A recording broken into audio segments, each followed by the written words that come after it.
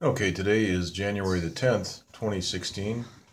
We're watching the water vapor loop for the Northeast Pacific, and today uh, we have uh, HAARP transmitters focused all through the uh, Eastern Pacific. We've got one here, and one here, and then one right over here. We've got a, a couple of systems here and here, uh, trying to make their way into the west coast to deliver rain, and there's so much high pressure uh, installed on the uh, west coast that that's not going to allow the moisture field to move in, these moisture fields to move in and uh, deliver rain. However, uh, right now in Los Angeles, we have 94% relative, relative humidity. Uh, the dew point is 46 degrees Fahrenheit. We've got a temperature of 48 degrees. And the barometric pressure is uh, 30.12. So we've got very high pressure consistent with what we're seeing on the on the satellite map. We've got high pressure, 30.12 inches, and uh, that's uh, going to uh, block a lot of this weather, and that's what's happening here. This is a shield uh, that's been installed all through the uh, west coast, and that is effective. It's not allowing this moisture field to move in and dump rain. So what's happening is it's all moving up the west coast and around this high pressure up here, and then back through Canada to the east. All right, so we've got a, a storm here. We've got a gale right here.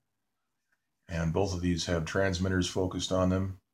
Uh, this dark area, that's a HAARP transmitter that's uh, applying heat, descending air to uh, disrupt and weaken the uh, core pressure of these weather systems, to weaken them, and uh, so that they can then be uh, allowed to move in and not flood the entire west coast. okay, let's take a, take a look at some of these other uh, maps. Also, we have Tropical Storm Pali down here, which uh, yesterday was moving uh, due uh, west.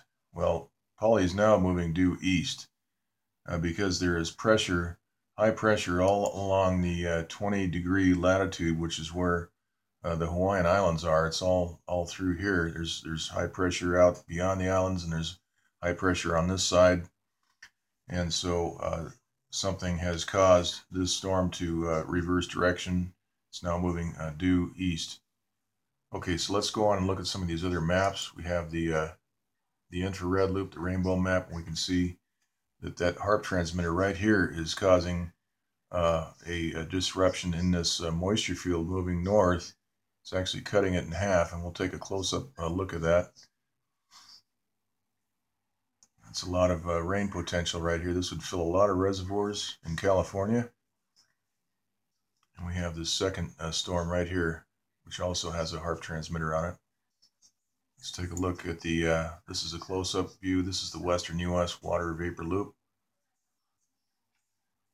Have strong high pressure installed all along California, all the way up to uh, Oregon and Washington. That's uh, blocking all this weather as it wants to move uh, east into the uh, state, into the west coast. Let's take a look at the uh, infrared loop.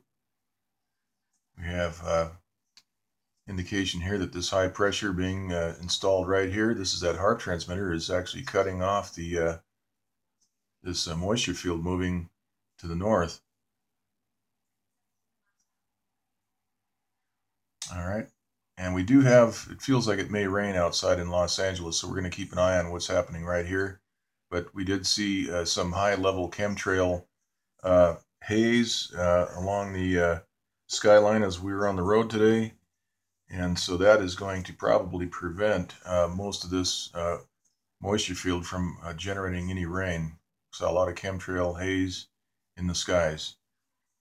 All right, here is the visible loop. We can see what's happening here. This is uh, being cut off. This uh, moisture field is being uh,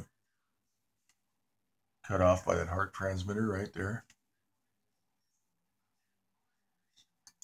And we have the jet stream. We can see that uh, this splits off. One one half of the jet stream is moving north into uh, Alaska. The other half is moving into uh, into Mexico. And then over California, we have some high-speed air moving uh, to the uh, southeast. All right, here is the surface analysis map. and we can see a couple of systems here offshore. We've got this storm and we have this uh, gale right here. These are the two ones uh, that are nearest the west coast. We've got a gale indicated over here. This is a HAARP transmitter that is cutting off a lot of this uh, flow into the uh, west coast. We've got high pressure installed all up and down the uh, entire west coast from Mexico all the way up through Canada. All this right here. And we've got high pressure all along uh, this area here. And tropical storm Pali is somewhere right right down here. We can't really see it, but uh, it's right right about here. It's just a little bit further down. Okay, uh, next is the uh, we've got a sea level pressure analysis, and we can see that high pressure again all through the uh, western United States. That's going to block everything offshore trying to move in. Uh, let's take a look at the uh, 500 millibar. We can see that strong high pressure, these ridges all through the west coast. That's going to block everything. And on the 300 millibar, we see the same same thing. Strong high pressure off the west coast, or right over the west coast. So these operators, these HAARP operators, these transmitter operators have decided to uh, cut off the, uh, the rain flow temporarily. And that is probably because of the intensity of these storms. They're so large. However, uh, uh, they do have the ability to, to uh, destroy them and weaken them and uh, let let the rain in and, and but they're not doing that so uh, they are chemtrailing and that is uh, the other part of this uh, weather modification operation is that they use the chemtrails to prevent lift atmospheric lift and that stops the rain okay now here's the Central Pacific Hurricane Center. This is this is the, an update on uh, Tropical Storm Pali, which is now moving. Uh, now it's moving due north. Okay, just about two hours ago it was moving due east.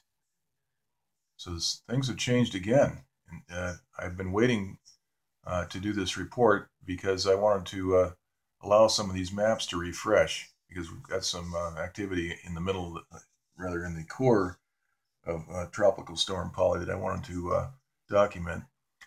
But now we have movement north, due north at, at 2 miles per hour. And we have 60 mile per hour winds, so this storm has intensified somewhat from yesterday. And the storm had 40 mile per hour winds yesterday. Okay, let's take a look at the uh, Central Pacific. We have uh, the water vapor loop shown. And here is Tropical Storm Pali and we can see a, a very intense core, dark blue, indicated uh, the most intense down here on the right. And this core is being targeted. We can see the, uh, the diminishment in the core over the seven and one half hour loop. We can see the blast pattern down here. They're targeting the storm in the core with probably microwave energy. And uh, when this storm is hit with that energy, it uh, superheats the core and uh, we have uh, instantaneous heating of, of, water vapor, which rapidly expands. And we have uh, rings and violent activity around the core and the, the, periphery of this storm. And we can see that violent uh, blast pattern down here along the bottom edges and also up along this uh, edge here. Now let's take a look at the uh, let's take a look at the infrared loop. We can see that that, that core diminish after it's uh, targeted in the early sequence, the early part of the sequ uh, sequence, we can see that the, uh, the, core is a bright red and, and uh, then it uh, diminishes down to a, uh, a yellowish color. So the storm has weakened as it's hit. Let's go take a look now at the we can see the core of this uh, storm and uh, but uh, there are no shock waves uh, visible on this uh, view right now. There are no shock waves visible. So we'll go back and take a look.